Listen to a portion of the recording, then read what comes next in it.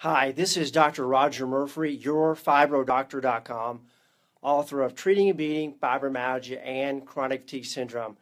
Thank you for joining me for today's health tip. I want to share some information I hope will encourage you to keep going, to keep looking for the answer you need to feel good again.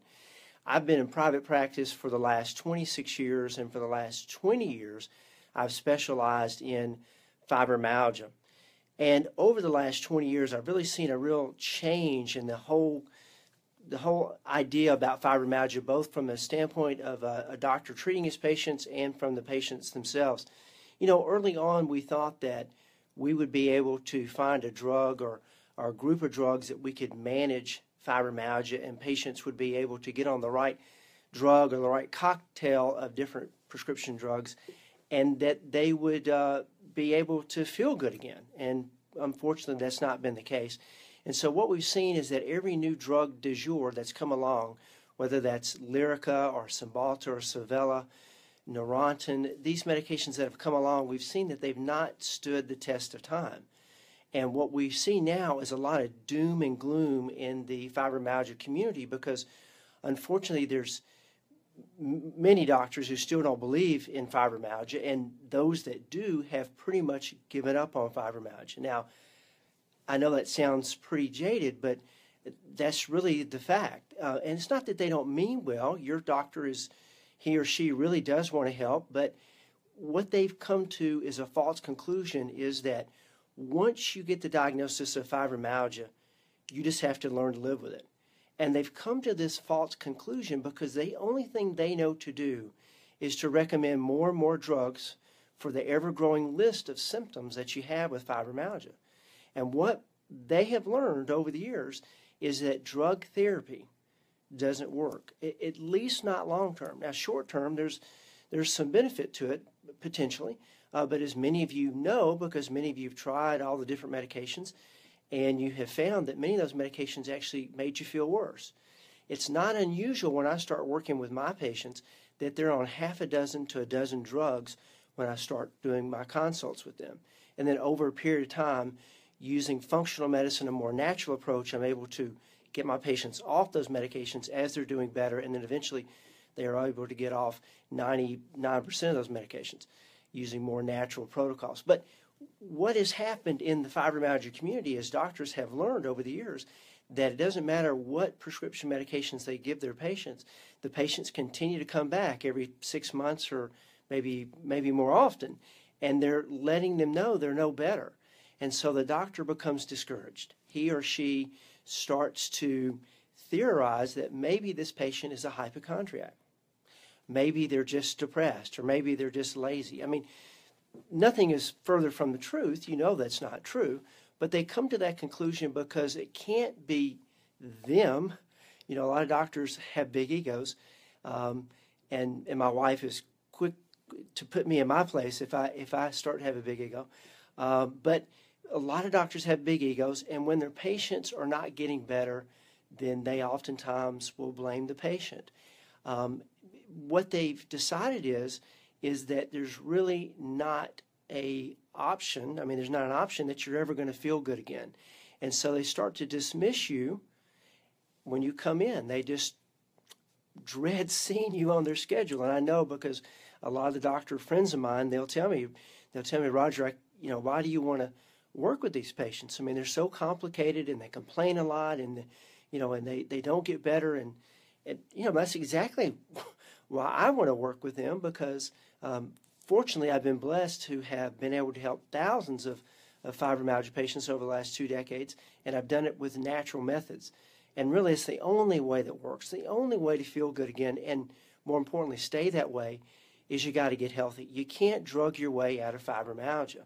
And what we see now is if you get the diagnosis of fibromyalgia, if you go to Mayo Clinic, world renowned Mayo Clinic, they'll tell you that you just have to learn to live with it. They'll put you in a class for two weeks and they'll teach you how to cope with fibromyalgia.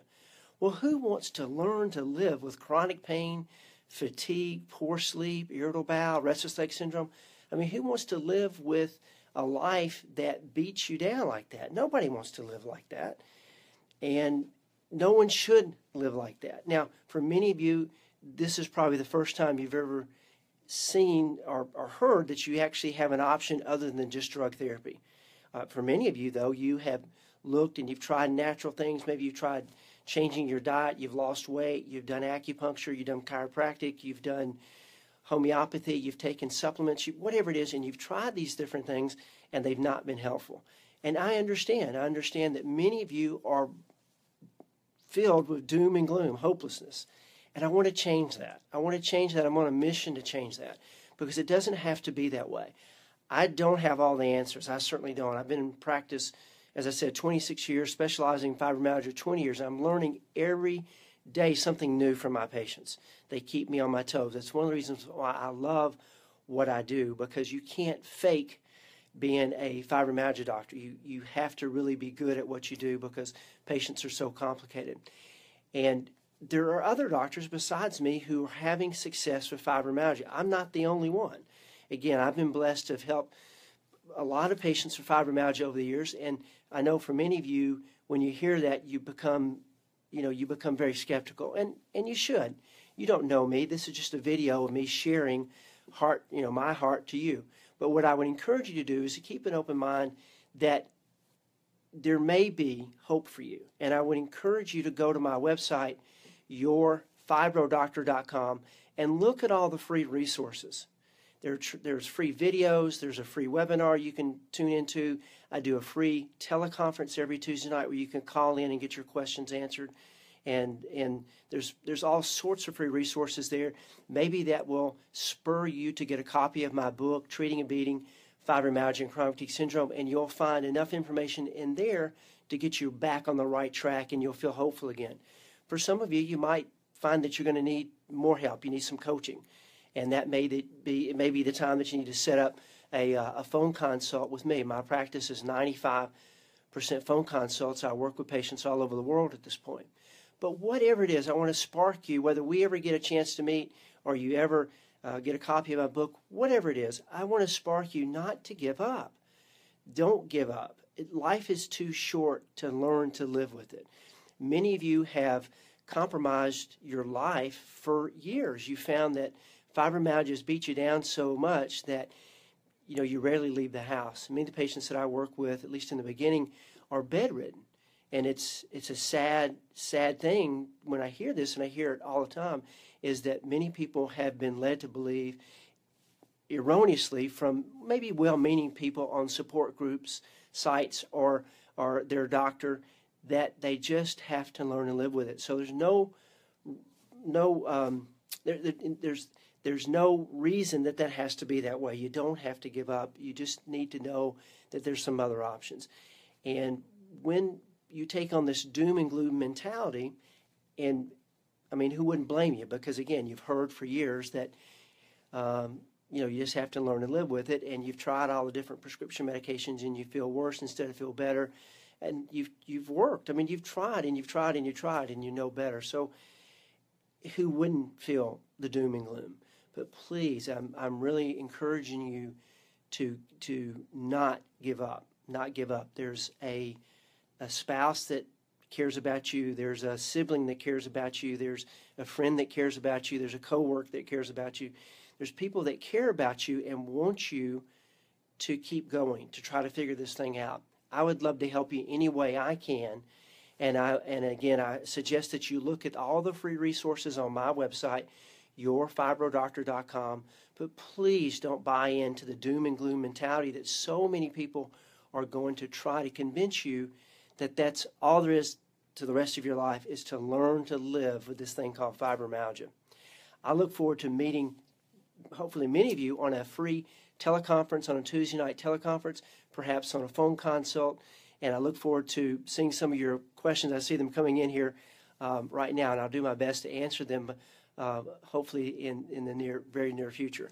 Thanks for joining me today. This is Dr. Rodger Murphree, yourfibrodoctor.com author of Treating and Beating Fibromyalgia and Chronic Fatigue Syndrome.